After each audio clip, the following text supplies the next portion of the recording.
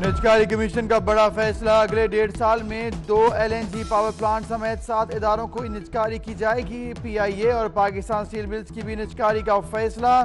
اسی عرصے میں سات اداروں کو فروخت بھی کیا جائے گا۔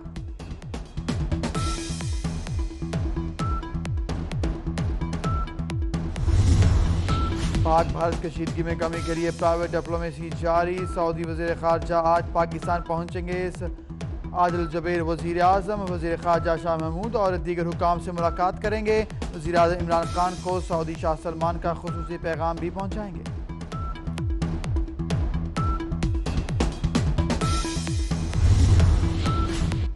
بھارت کی پاکستان میں ماحولیاتی دہشت گردی، عالمی ماحولیاتی اداروں کا وفد آج بالاکوٹ کا دورہ کرے گا۔ وفد بھارتی طیاروں کے حملے والی جگہ کا معائنہ کرے گا۔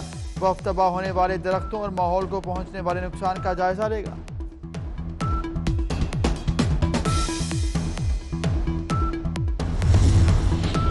وزیر اعظم عمران خان کی زیر صدارت وفاقی کابینہ کا اجلاس آج ہوگا۔ کابینہ اٹھارہ نکاتی ایجنڈے پر غور کرے گی۔ ای سی سی اجلاس کے چھبیس فروری کے فیصلوں کی توثیق بھی ایجنڈے میں شامل۔ پی او ایف بی کے ممبر پروڈکشن کوارڈینیشن کی تعیناتی کا امکان۔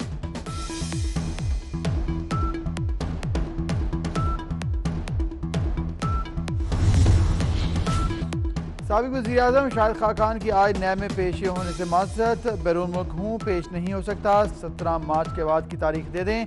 نیب کو خط موصول۔ نیب نے شاہد خاقان سے سترہ سوالات کے جوابات طلب کر رکھے ہیں۔ نیب کا روامہ اسی کیس میں بڑی گرفتاریوں کا امکان۔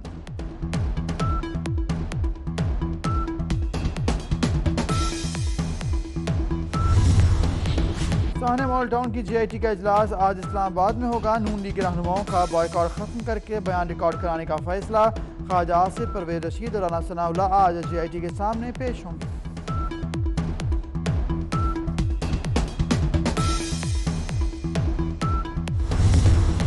سابق وزیر اعظم نواز شریف سے آج ملاقاتوں کا دن۔ میاں نواز شریف طبیعت ناساز ہونے کے باعث ملاقاتیں نہیں کریں گے۔ سابق وزیر اعظم سے شریف فیملی کی آج دوبارہ ملاقات کا امکان۔ ڈاکٹر عدنان بھی ملیں گے۔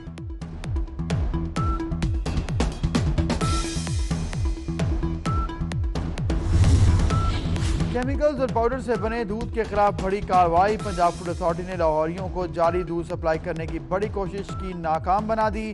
دودھ کے چار ٹرک پکڑے گئے، پندرہ ہزار لیٹر دودھ تلف۔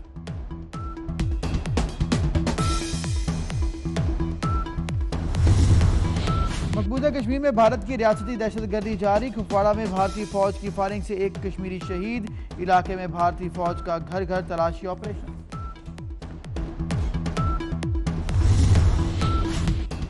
اسلام آباد سے آسٹریلیا جانے والے مسافر کو جہاز گرنے کی بد دعا کرنے پر آف لوڈ کر دیا گیا۔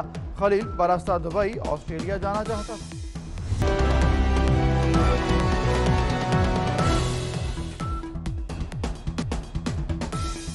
سلام پاکستان 24 نیوز کے ساتھ، میں ہوں ابوذر معظم۔ ابھی آپ کو بتائیں، کراچی انٹرنیشنل جنا ایئرپورٹ سے اندرون ملک جانے والی متعدد پروازیں کینسل کر دی گئی ہیں۔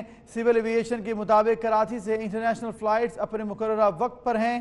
تکنیکی وجوہات کی بنا پر پروازیں منسوخ کی گئی ہیں۔ پی آئی اے کی کراچی سے لاہور جانے والی پرواز پی کے تین ایک دو، ایئر بلو کی کراچی سے لاہور جانے والی پروازیں پی پی اے چار صفر دو اور چار صفر چار بھی کینسل کر دی گئی ہیں۔ تو یہ تمام صورتحال ہے۔ کراچی انٹرنیشنل چنا ایئرپورٹ سے اندرون ملک جانے والی متعدد پروازیں کینسل کر دی گئی ہیں۔